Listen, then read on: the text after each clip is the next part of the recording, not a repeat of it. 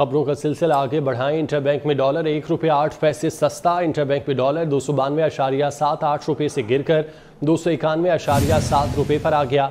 Interbank में dollar तीन सौ सात अशारिया एक सिफर रुपये की बुलंद सतह से अब पंद्रह अशारिया चार सिफर रुपये सस्ता हो चुका। बात करते हैं अशरफ खान हमारे साथ मौजूद हैं। जी अशरफ, बताइएगा। जी, देखा जाए, कारोबारी हफ़्ते का आखिरी रोज आखिरी रोज भी मुल्क की मीशत के लिए अच्छी खबर है। कि इंटर बैंक अमरीकी दौरे, एक सौ आठ पैसे सस्ता हो गया, दो सौ बानवे रुपये की सतह से भी नीचे आ गया। इस वक्त इंटर बैंक का डॉलर दो सौ इक्यानवे रुपये सत्तर पैसे पर ट्रेड कर रहा है। इंटर बैंक में डॉलर तीन सौ सात रुपये दस पैसे बुलंद सतह से अब तक पंद्रह रुपये चालीस पैसे सस्ता हो चुका है। माहरीन का कहना है कि जैसे स्टेट बैंक का डाटा है कि दस करोड़ चालीस लाख डॉलर के जो जखायर में इजाफा हुआ है, जिसकी वजह से रुपए की कदर में बेहतरी देखी जा रही है। साथ ही कह रहे हैं कि डॉलर सस्ता होने से दरामदी लागत कम होगी, जिससे महँगाई की रफ्तार, मीशत के लिए अच्छी खबर है कि इंटर बैंक अमरीकी दौर एक रुपये आठ पैसे सस्ता हो गया, दो सौ बानवे रुपए की सतह से भी नीचे आ गया।